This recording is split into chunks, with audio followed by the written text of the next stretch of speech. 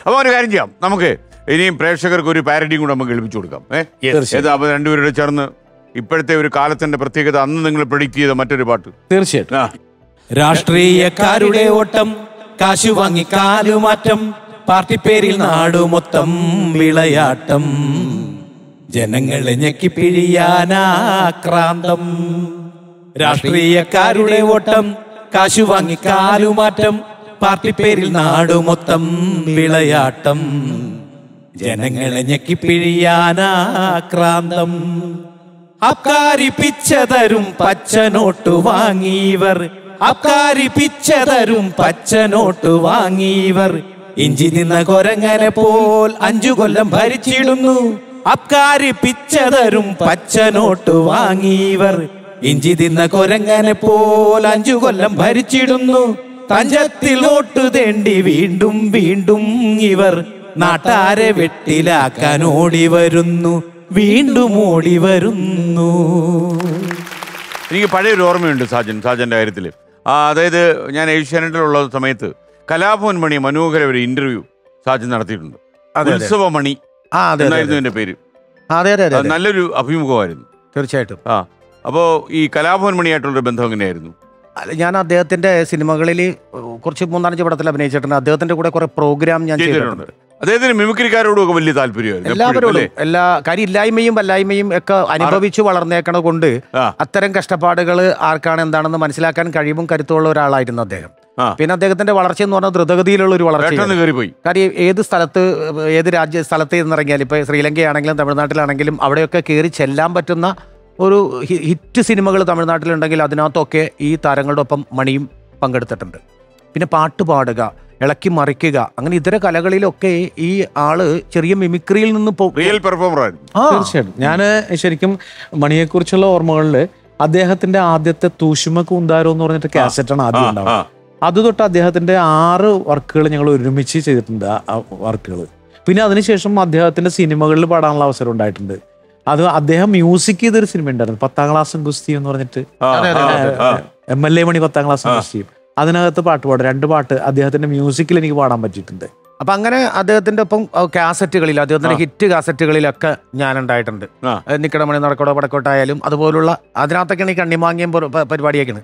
നമ്മൾ എന്ത് ചെയ്താലും നമുക്ക് ചെയ്യുന്ന ഒരു സാധനമാണെങ്കിൽ അത് ഹിറ്റാണെങ്കിൽ ചിലവർ കയറി ചെയ്ത്. കളയും.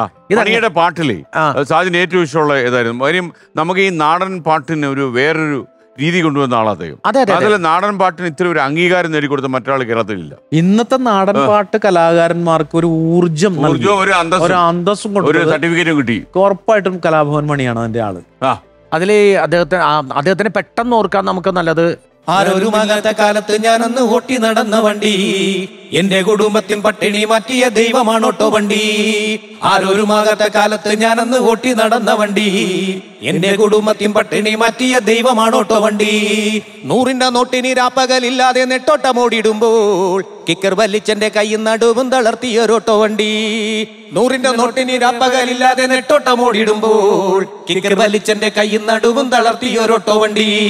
നൂറിന്റെ നോട്ടിനി രാപ്പകലില്ലാതെ നെട്ടോട്ടമോടിടുമ്പോൾ കിക്കർ വലിച്ചെന്റെ കൈയും നടുവും തളർത്തി ഓട്ടോ വണ്ടി.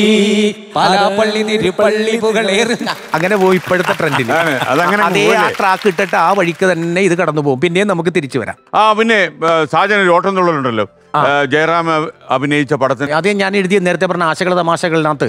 ഓരോരുത്തരെ കുറിച്ചും നമ്മൾ എഴുതിയിട്ടുണ്ട്. ഉദാഹരണമായിട്ട് ജയറാമേട്ടന്റെ അതൊരു പെട്ടെന്നൊരു സന്ദർഭത്തിൽ ഉണ്ടായതാണ്. കാര്യം ഒന്നും ആടുംപുലിയാട്ടം എന്ന സിനിമയുടെ നൂറാം ദിവസം ആഘോഷിക്കാൻ ആലപ്പുഴയിൽ നിൽക്കുമ്പോൾ ഞാൻ ആ പരിപാടിയിലുണ്ട്. അപ്പോൾ എന്തൊരു വെറൈറ്റി ചെയ്ത് ജയറാമേട്ടനെ കിരിക്കുകയാണല്ലോ. എപ്പോഴും കാണിക്കുന്ന പരിപാടി തന്നെ കാണിക്കാതെ വേറെ എന്ത് ചെയ്യാൻ പറ്റുമെന്ന് ഇങ്ങനെ ആലോചിച്ചുകൊണ്ടിരുന്നപ്പോൾ ഇവർ പ്രോഗ്രാം തുടങ്ങി. അപ്പോൾ ഞാനൊരു പേപ്പർ പേപ്പറും പേന എടുത്തിട്ട് നമ്മുടെ സഹപ്രവർത്തകരോട് കൂടെയുള്ളവരോട് ചോദിച്ചേട്ടാ ഇത് ഇങ്ങനെയുണ്ട് കൊള്ളാമോ? കുഴപ്പമുണ്ടോ?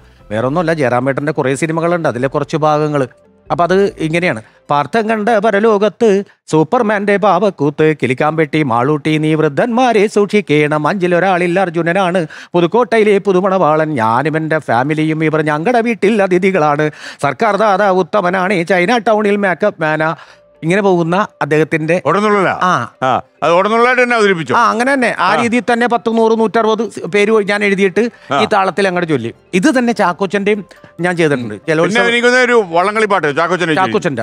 ചാക്കോച്ചന്റെ. പോവും? ചാക്കോച്ചൻ ജലോത്സവത്തിന്റെ നാട്ടുകാരനാണ്. അല്ലേ? അവിടുത്തെ ഉത്സവം എന്ന് പറയുന്നത് ജലോത്സവമാണ്. അപ്പൊ വള്ളംകളിയുടെ ഇണം തന്നെ ആകട്ടെ എന്ന് കരുതി രാമന്റെ തോട്ടത്തിലെ പ്രേം പൂജാരി മല്ലു സിംഗ് കുട്ടനാടന്മാർ പാപ്പയുടെ സ്നേഹിതനല്ലേ? ഗുലുമാലു കൊന്തയും പൂണൂലും പോളിടെക്കിനിക്കുല്ലോ പോയിന്റും അറിയുന്ന ശിക്കാരി ശംഭു. ഓദിത്തിത്താരാദിത്തിത്തോ ഷാജഹാനും വരിക്കുട്ടിയും വള്ളിയും തെറ്റി പുള്ളിയും തെറ്റി വരുന്നുണ്ട് വർണത്തിൽ ഒരാശങ്ക വേണ്ട.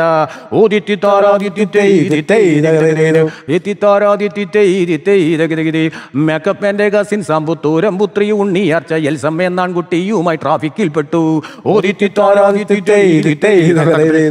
ഇതെല്ലാം ഓരോരുത്തരുടെ സിനിമ എല്ലാം ഒരു കണക്ഷൻ ഉണ്ട് അല്ലേ അതിനകത്ത് കഥാംശമൊക്കെ ഉണ്ട് ആ, അങ്ങനെ ആ, കവിത പോലെ പോണം. എന്നാലും ഇത് കേൾക്കാൻ അല്ലെങ്കിൽ പിന്നെ ചുമ്മാ പേരുകൾ മാത്രം പ്രധാനമായിട്ട് മാറി നിൽക്കും.